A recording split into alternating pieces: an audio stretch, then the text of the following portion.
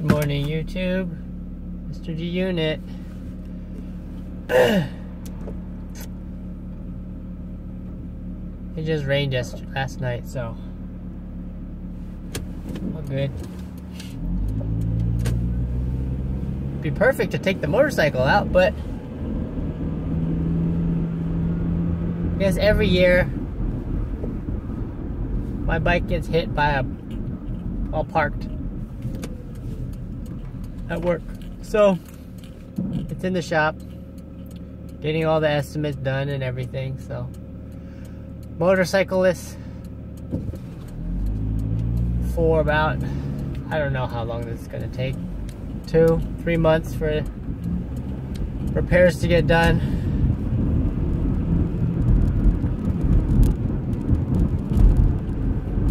So the what last year I posted about getting the motorcycle back.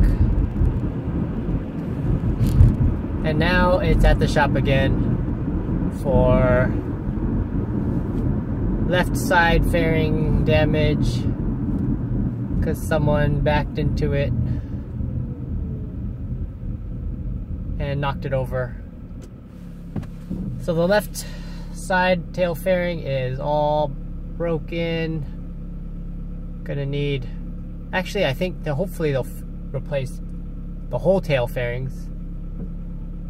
Right side, left side, in the center.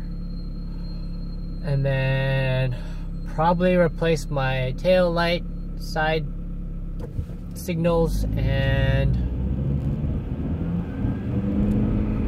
I think my gas tank cover, my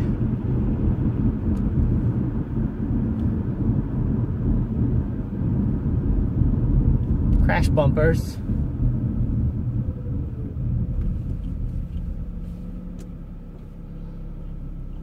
I don't know. And then I have to report that they also, I gotta get a new bike cover. I wonder if they make bike covers that are in a different color other than black, gray,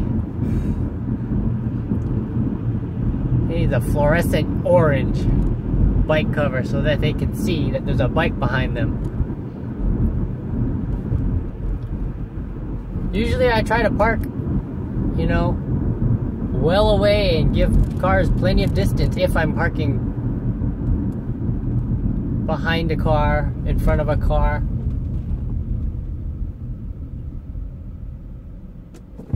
But I don't know.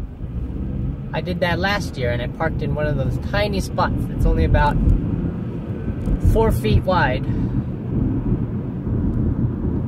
And a car pulling out of his driveway still hits my car, hits my bike. So, what can you do?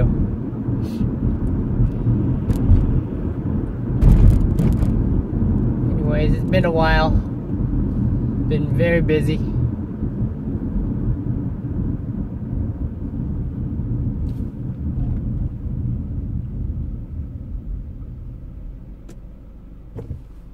Trying this new camera setup of dual camera, right?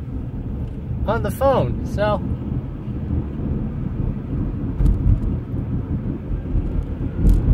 More editing than I've ever done.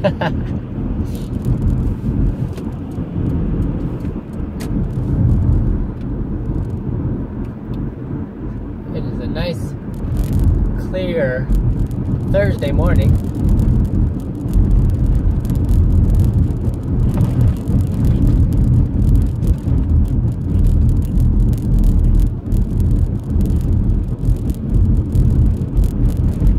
Like hauling more stuff in a car, but somehow I find it easier to jump on the motorcycle. I don't know, some of my friends find it the other way, but to me, if it's just myself going from point A to point B, I don't mind slapping on some gear, a helmet, boots, getting on the motorcycle. Boom.